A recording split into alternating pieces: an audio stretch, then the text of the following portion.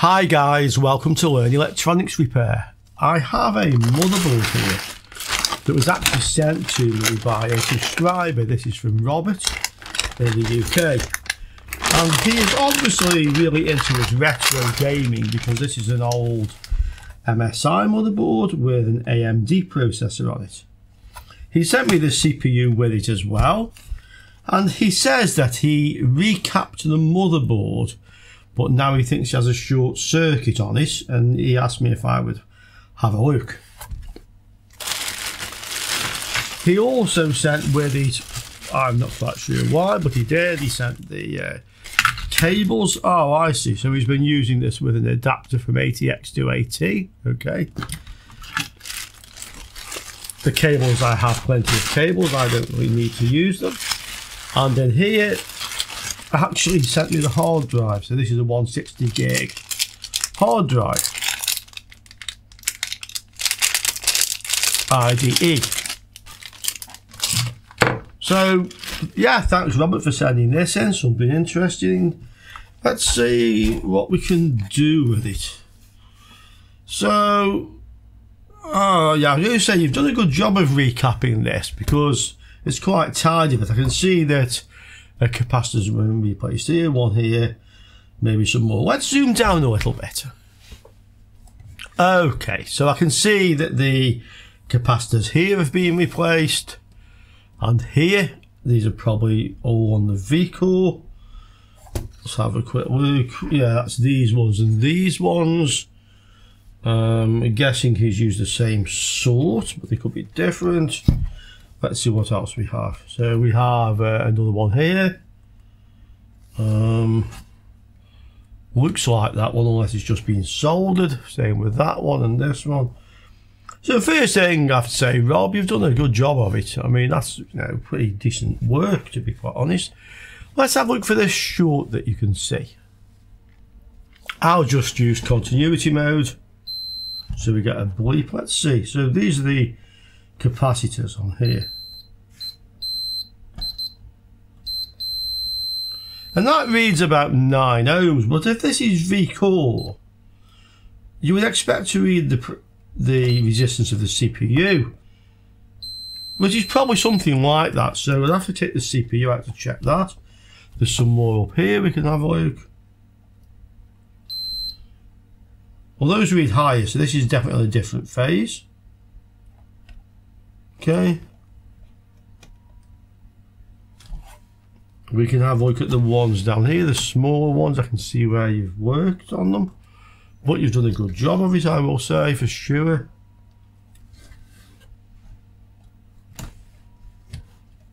Okay, there's some over here. That reads okay. Another one up here, probably on the memory phase maybe reads okay. So I don't see any shorts here. What I can see is this low resistance on V-core. Okay, about 9 ohms. But I don't think that's a short. I think what I'm seeing there is actually the resistance of the CPU.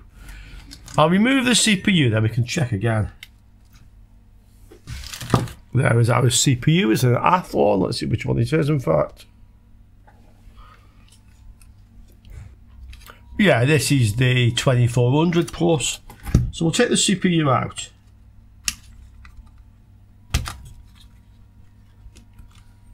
Okay. Now let's check that short again. Okay. Here we are across the capacitors. I think this is the ground end.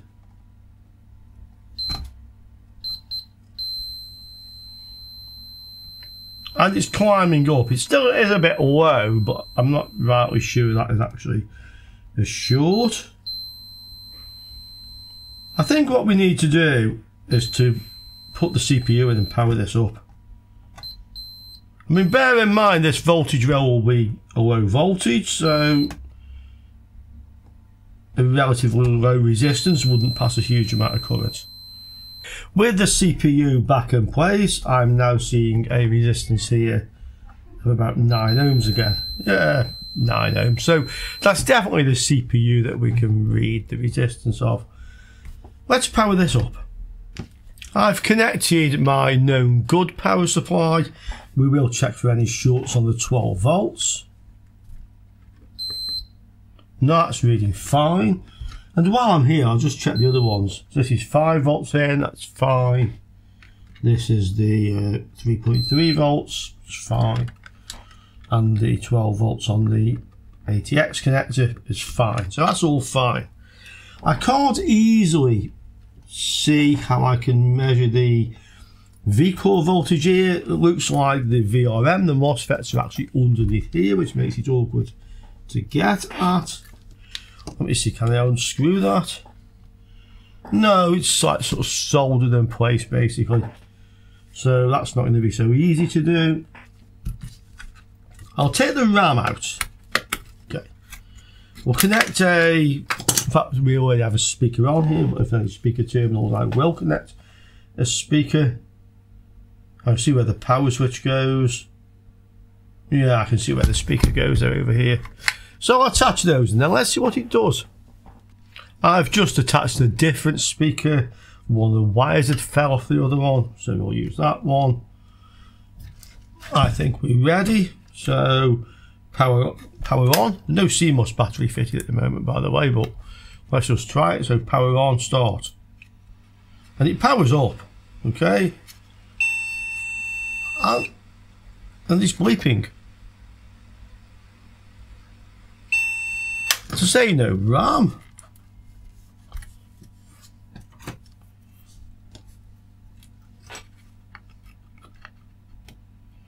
Okay.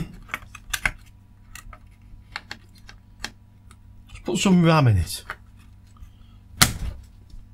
And it looks like, yeah, this takes two different sorts of RAM, so it's not like DIMM 1 and 3, well it is 1, 2, 3, 4, but if you look, these two I think are a different sort. Yeah, it doesn't fit in. Okay, so RAM in here. Okay, we're in. Let's try again. I'll also connect a monitor seeing as this has onboard VGA. Right, we're ready to go. Start.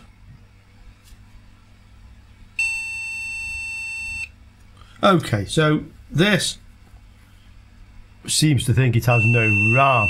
Yeah. So that's where the problem is with it. Let's have a quick look while it's powered up, just to see if I have any voltage supply to the RAM. So it looks like the RAM of VRM is here at the front of the motherboard. Down here, probably ground. See.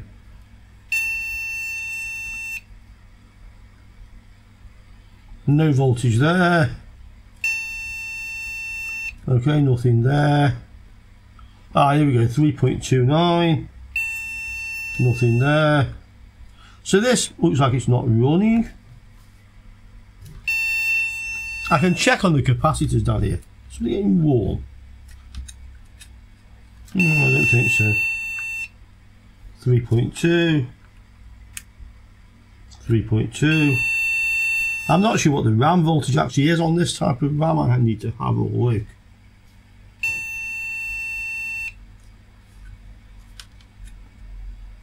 Yeah, nothing hot. Look at these capacitors near to the RAM. Nothing. 3.3. Nothing. Okay. I'd have to go and look up what the correct voltage is. However, this RAM's a bit sticky. I don't like it much. Nothing hot here. Yeah, there's a little bit of warmth here, but nothing I don't think it's overly hot. Let's clean these first before we go down a rabbit hole, yeah? Just a bit of isopropyl. This I think is DDR400, I haven't looked, it's not PC133. because that has two notches. It could be there's some jumper settings on this that select between the two types of RAM. I would have to find the user manual and have a look. Yeah, this is PC133. If you can see, there's like two, two key notches in there. Okay. We can try both types.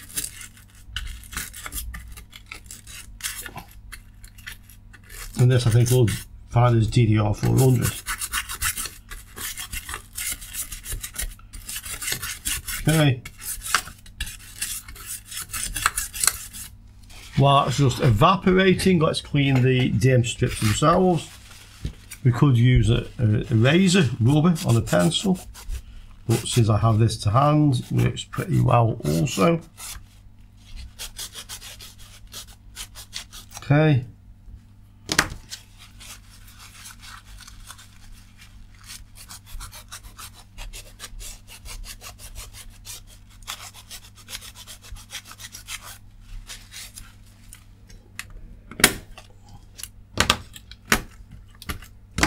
Just reseat them a few times.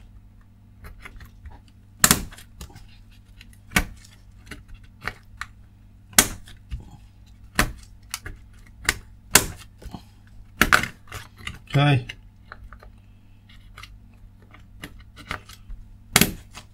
Let's try that. We'll try with both. We can also try with one, and we can also try the other type of RAM. Let's see what we get.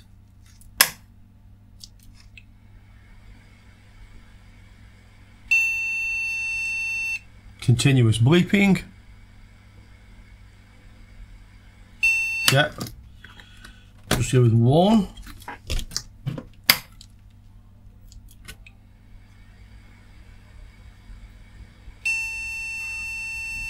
Same thing with just the other one. Then we'll try PC133.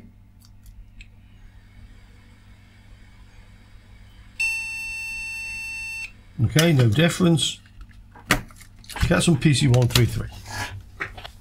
Okay, I have some of this as well.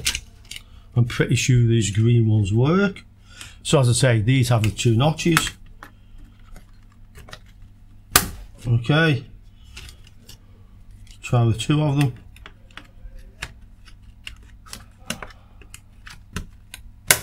Okay. What happens? What do you think, guys? What do you think will happen?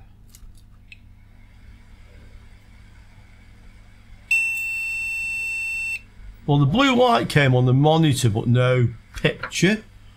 And it's bleeping really to say no RAM.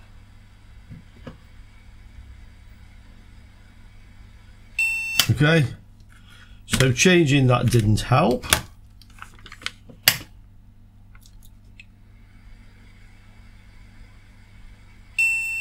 Just one strip.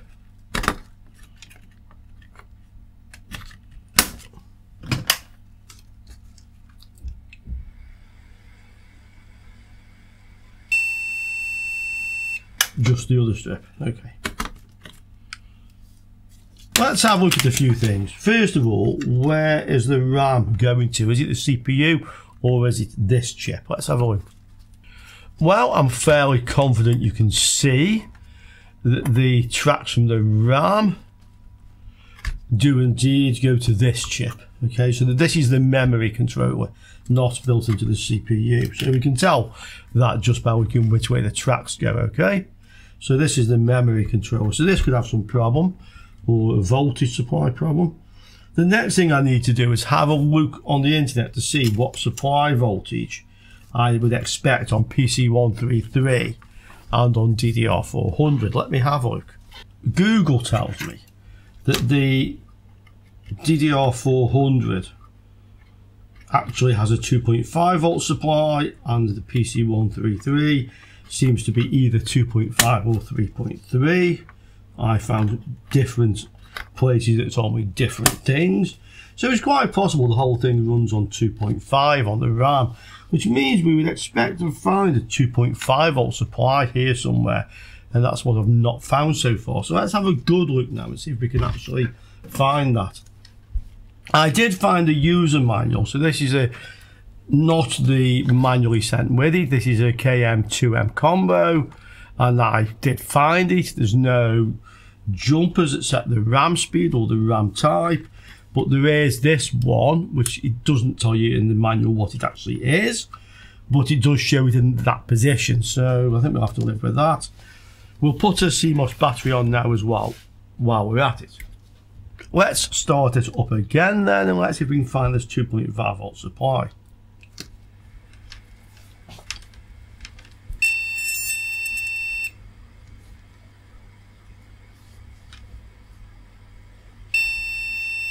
Well, there's certainly nothing around these MOSFETs. There's, this one appears to have nothing on any of the pins. Okay, and this one appears to have 3.3 volt coming in, but nothing going out. But there's no coil around here, inductors. It's not a buck regulator because I can't see the coil. This one also has 3.2 coming in, 3.2 going out. 9.8 volts coming in. Okay, 9.8, 3.2, 3.2. You expect that to be getting quite hot. No, so it must be supplying basically no current. Some more up here. That's a 5 volt rail. That's a 0.8. This might be for the CPU. Okay, and there's another little one next to it.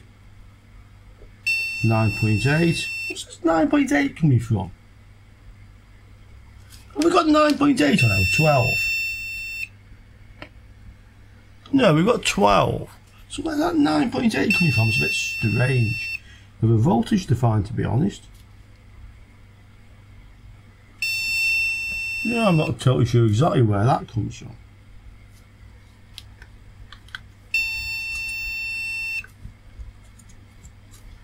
Let's have a look for some shorts around here. Okay, sorry about the bleeping. Probably I should have unplugged that. Let's have a look for any short circuits. So,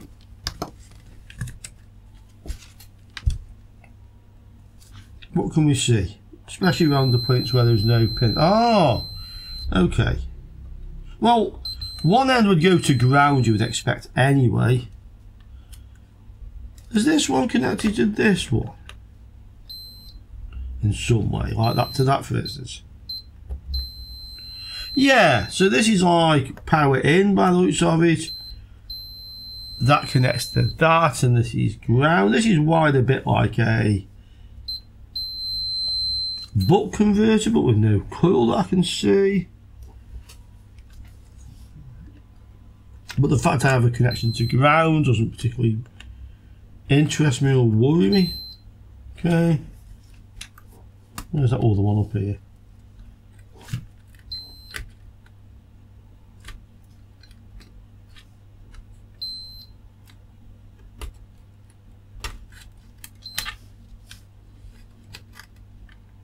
Okay.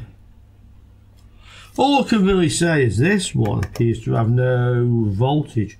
There's a couple of what might be Zener diodes down here. What's that like?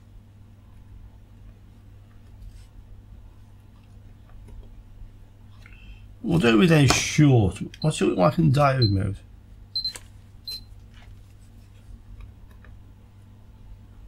Nothing that way, should read this way.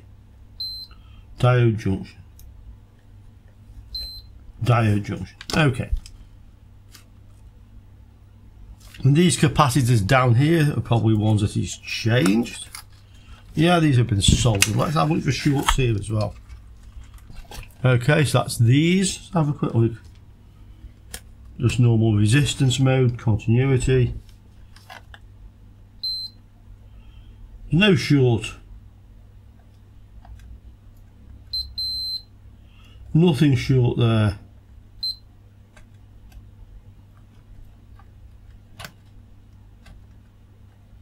All there. Okay.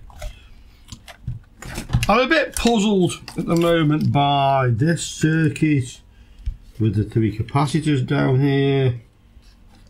No inductor, looks like a buck regulator but it isn't. and I haven't found this 2.5 volt supply.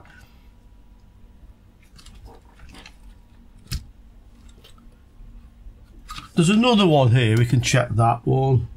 Let's look at that one.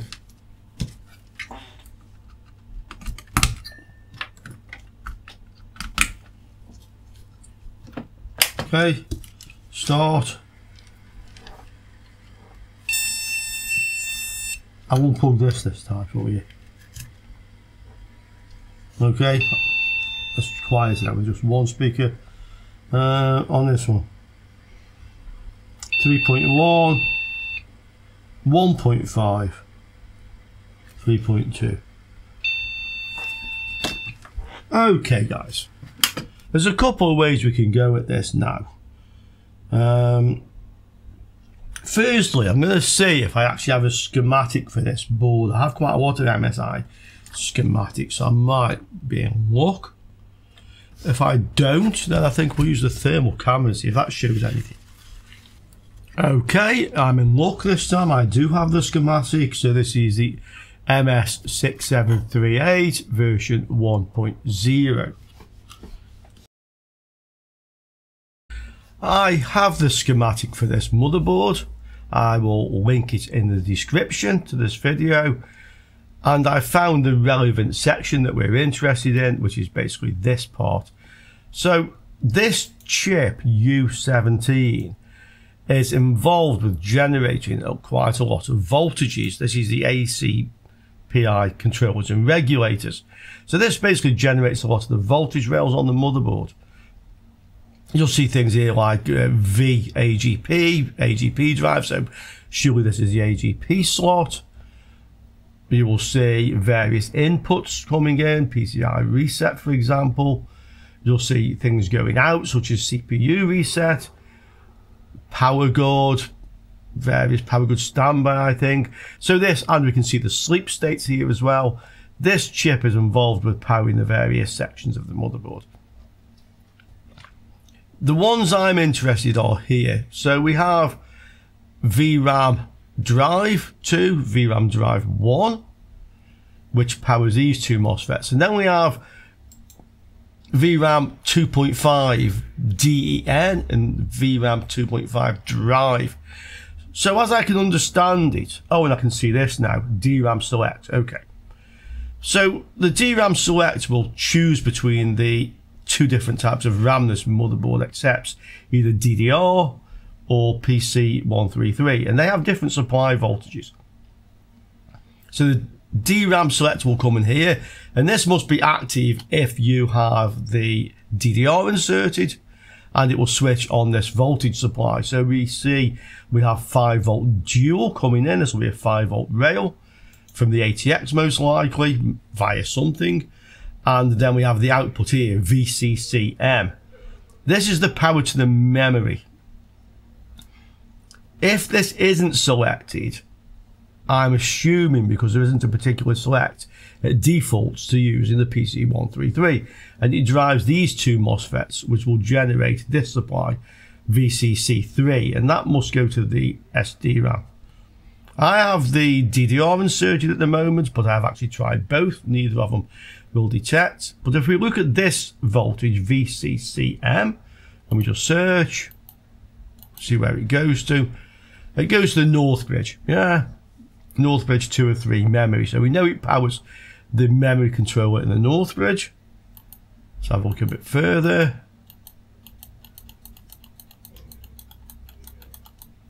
Okay, these are the DIMM slots, yeah, the actual memory slots, you DDR, SDRAM DIMM, DDR, SDRAM. So these are the slots, yeah. And you can see that VCCM also comes to these slots. So we know that is the voltage that we're interested in to power the RAM. This chip also generates another voltage, which we can see here.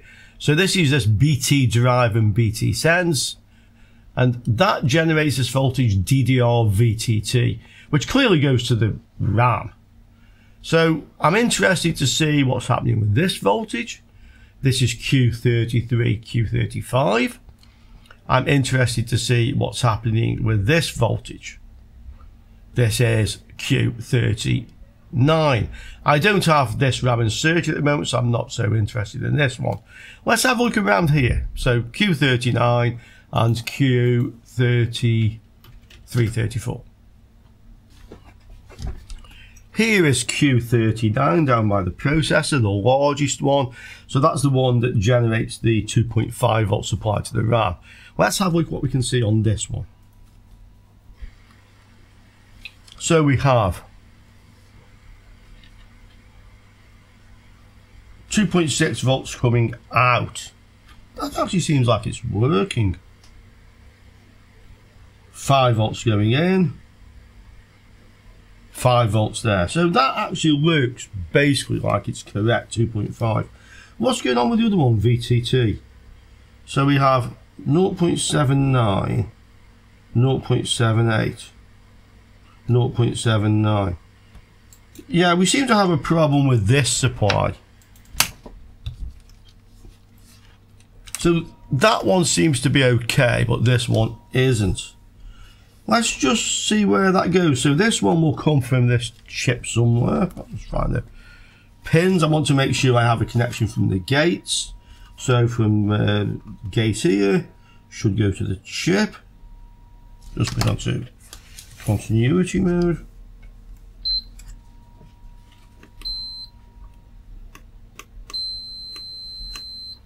Oh. Well, it does go to the chip. But it goes to at least two or three pins. How about this one?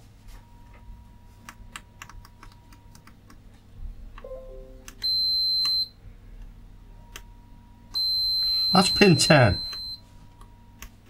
So that one goes to pin 10 on the chip. This one, 12, 11, 10. I'm counting the clicks, 9, seven, eight, and nine. Let's have that schematic again. Okay, so one of them goes to pin 10.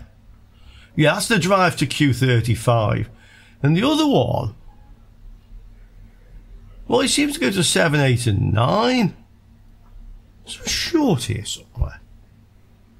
I mean, the source goes to 9. That goes to 8, but 7 goes elsewhere. That's just a signal coming in. Let's have a look at this MOSFET. This is Q33. Something's wrong, I think. Okay, so Q33 is this one. That reads okay. Let's go to diode mode.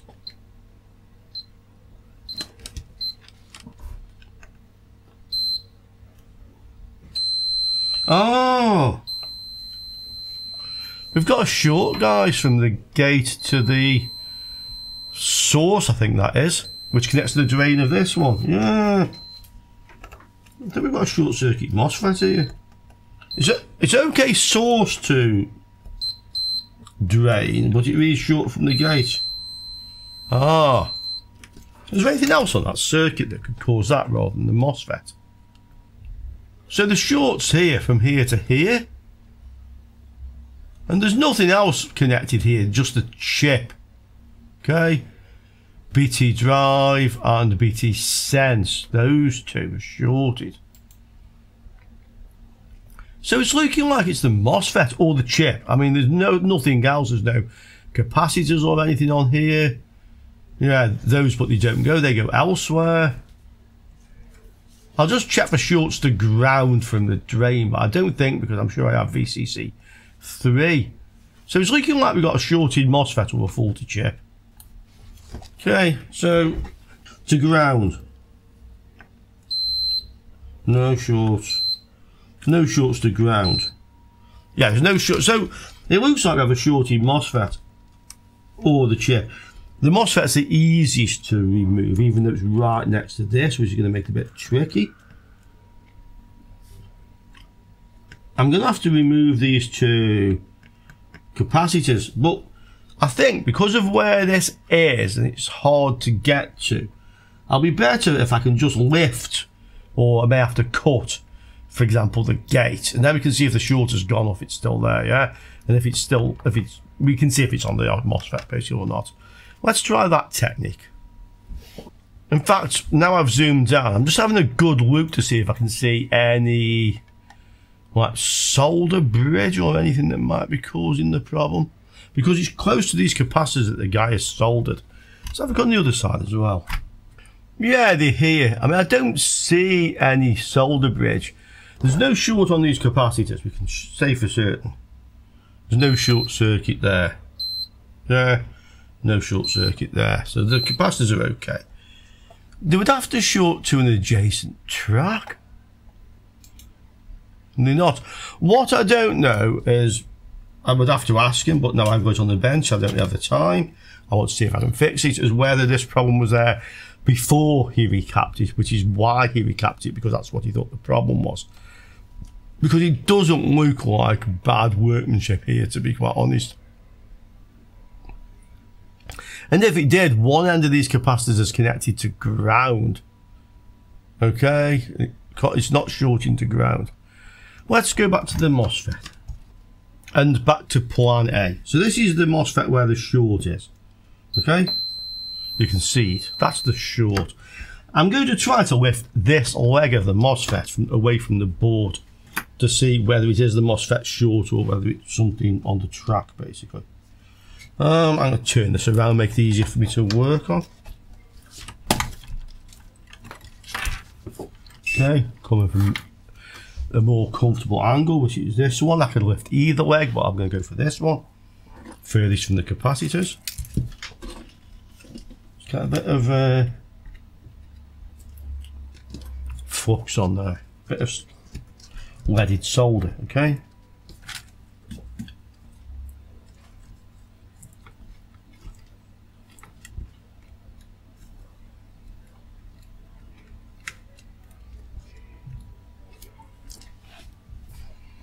Now let's see if I can actually lift this pin. I'll try solder braid first, but more than likely I'll just have to get a blob of solder on there, then effectively lift it up with some little sharp implements, some tool to get under there.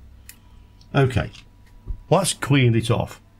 Let me see what, what I can find to lift it with. We'll, we'll try this little hook shaped thing, can get it under the MOSFET, and then we'll try to lift it away from the board. It might snap off, but hopefully it won't. It might just not move all to, at all. Yeah, proving difficult. Let's get a good blob of solder and try again.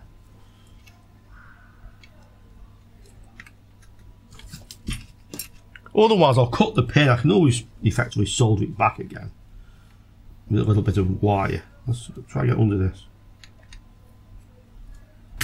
Ah, Okay, so it was a disaster because I broke the MOSFET. That's how not to do it, guys. Okay. There's a short gone. Yes, the short... no, the short hasn't gone, so we're now in a worse situation than where we started. It looks like the short is in the chip.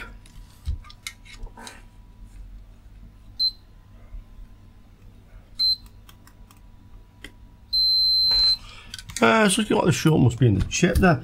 I mean, getting a MOSFET isn't a problem. It's just one of them things, guys. It happens. P3055. I'm sure I can get some of those. But more worrying is where is the short if it's not the MOSFET. It's a shame that broke off because I can't just prove the MOSFET was okay. Unless, ah, unless I can maybe just get into here. No. Well, actually, I'm making a contact on it, you can see.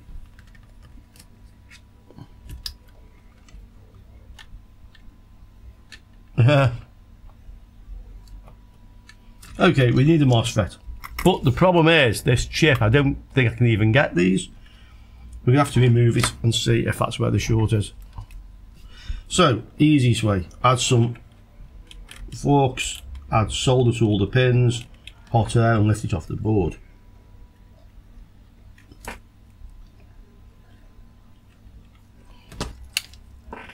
Okay.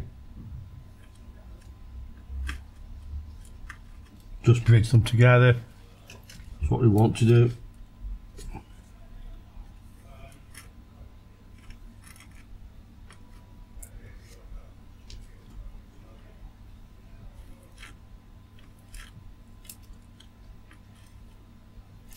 I will take the CMOS battery out by the way while I just think about it.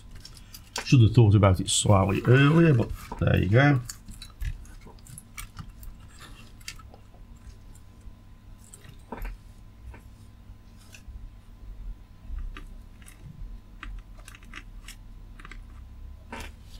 Okay.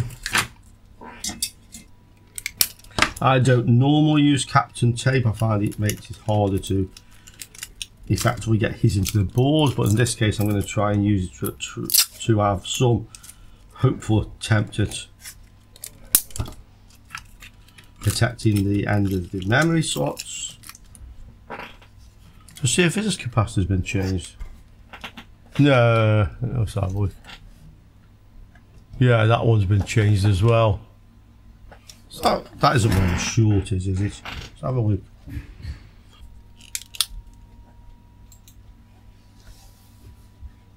No, it looks like it, it's not actually bridging to the track or anything like that.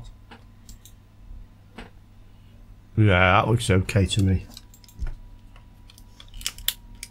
We can soon find out anyway if we measure from that end of the capacitors where the short is.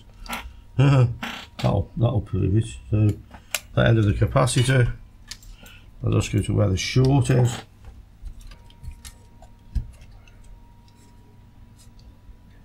No, that, that, that doesn't go to there.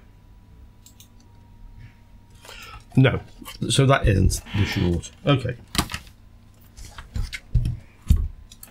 If I do this right, the leaded solder mixed with the unleaded should melt first and it should just lift off before anything else unsolders. Okay, and if I've done it wrong, well, we'll find out.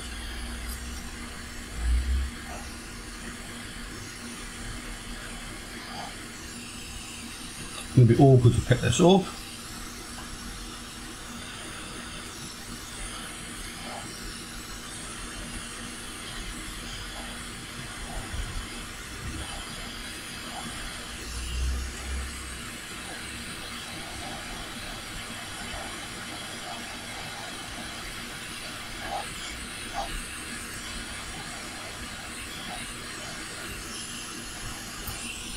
Slipped. It's off. Slid a little bit, but it came off.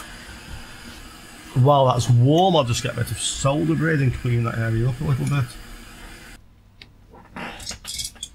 Okay, that looks quite clean. So although it slipped, it didn't actually dislodge any of the components. And that's because I hadn't got it hot enough for the lead-free solder to melt. Some of you guys say use bismuth solder or Chip Quik. Uh, personally, I do have Chip Quik and we'll have a play with it on another video, but I think this method works very well and 60-40 leaded solder is cheap, yeah. So I don't think you actually need anything special, but we'll have a play with that in the future. Now let's see if our short is still there after it's gone.